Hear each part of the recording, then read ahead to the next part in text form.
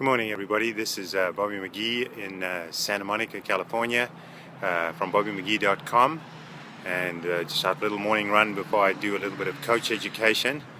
And uh, I wanted to speak this morning about, uh, you know, what what to pay attention to if you travel a lot. If you travel a lot, one of the things you need to to watch out for is tightening of your muscles. Obviously, a little bit of dehydration on the planes because they pressurized cabins.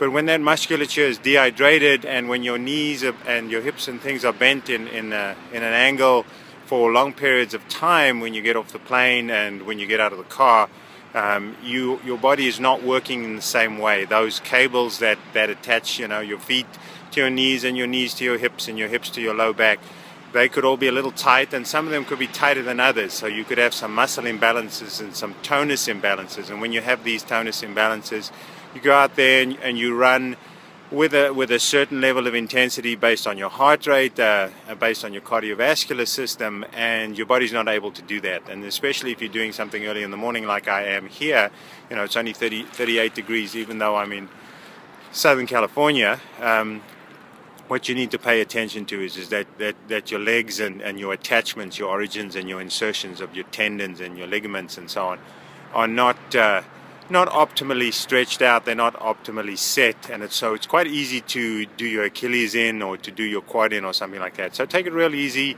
walk a little bit, give yourself some time to to to get into the run, and also do a little bit of self massage the night before or even the morning before. Just just get that tissue going, and then there's always a a, a good good reason to to do some muscle activation in the mornings because your neural system takes about four hours to wake up. All right, speak to you guys soon.